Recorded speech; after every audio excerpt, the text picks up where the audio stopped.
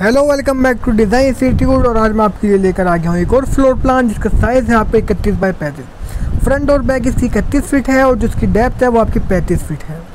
इनकी जो रिक्वायरमेंट है, वो टू बी के सेट की रिक्वायरमेंट है तो हमने बना दिया है, इसको स्टार्ट करते हैं। ये हमारा मेन गेट है, आप यहाँ से एंट्री करते हैं, सामने आपको पोर्च देखने के लिए मिलता है। नौ फिट बाय चौदह फिट नौ इंच का ये पोर्च बनाया गया है। इसी के साथ आपको साढ़े तीन फिट का ये साढ़े तीन फिट वाइड ओपन फ्रंट देखने के लिए मिल जाती है। आप यहाँ पर प्लांटेशन वगैरह कर सकते हैं। उसके बाद आपको सामने देखने के लिए मिल जाता है आपका स्टेर केस यानी कि जीना जो कि आपको तीन फिट का दिया गया है। तो आगे एक्सप्लेन करने से पहले मैं आपको पहले बता देता हूँ कि आपको भी अगर अपना मैप बनवाना है तो आप भी डिज़ाइन इंस्टीट्यूट से बनवा सकते हैं। कॉन्टैक्ट नंबर डिस्क्रिप्शन में है। आप हमें व्हाट्सएप पर भी कॉन्टैक्ट कर सकते हैं कॉल भी कर सकते हैं। अब इसको स्टार्ट करते हैं। और इसके बाद आपको या ड्राइंग रूम है, आप इस डोर से अंदर एंट्री करते हैं ड्राइंग रूम में। तो 12 फीट चार इंच बाय साढ़े नौ फीट का ये आपको ड्राइंग रूम बनाया हुआ है। बना के हमने दिया हुआ है। इस ड्राइंग रूम में वेंटिलेशन के लिए आपको यहाँ पर विंडो भी देखने के लिए मिल जाती है। इसी के साथ आपका लॉबी में जाने के लिए जो आपको रास्ता दिया गया है, वो ये बीच से ओपन किया गया है। आप यहाँ चाहें तो स्लाइडिंग डोर या फिर सिंपल डोर भी लगवा सकते हैं। वैसे आप लॉबी के लिए जो पर्सनल डोर है आपका, वो ये हमने आपको दिया हुआ है। इस डोर से आप जाते हैं लॉबी में। लॉबी का साइज़ है आपका अट्ठारह फीट आठ इंच बाई आठ फीट नौ इंच की ये लॉबी बनाई गई है। लॉबी के आप इधर देखते हैं तो ड्राइंग रूम के बराबर में आपको देखने के लिए मिल जाता है किचन जिसका डोर हमने यहाँ से आपको दिया हुआ है तीन फिट का। इस किचन का साइज़ है आपका सात फिट नौ इंच बाय साढ़े नौ फिट का ये किचन बनाया गया है और इस किचन में आपको दो फिट की स्लेब भी देखने के लिए मिल जाती है। इसी के साथ आपको यहाँ पर वेंटिलेशन के लिए विंडो भी देखने के लिए मिलती है। फुल वेंटिलेशन आपका इस विंडो से हो जाएगा। उसके बाद चलते हमने बेडरूम की तरफ़। लॉबी के इस साइड आपको फ़र्स्ट बेडरूम आपका देखने के लिए मिल जाता है। इस डोर से आप अंदर एंट्री करते हैं। तेरह फिट चार इंच बाई ग्यारह फिट का बेडरूम बनाया गया है और वेंटिलेशन के लिए आपको यहाँ से विंडो भी देखने के लिए मिल जाती है। फुल वेंटिलेशन इस बेडरूम का हो जाएगा।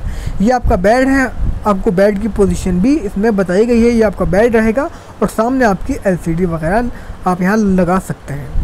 उसके बाद आपको इसके बराबर में ही बेडरूम के कॉमन टॉयलेट देखने के लिए मिलती है, जो कि आपको ढाई फिट का डोर इसमें दिया गया है। इस डोर से आप एंट्री करते हैं और पाँच फिट बाय साढ़े सात फिट की टॉयलेट आपको बना के दी हुई है।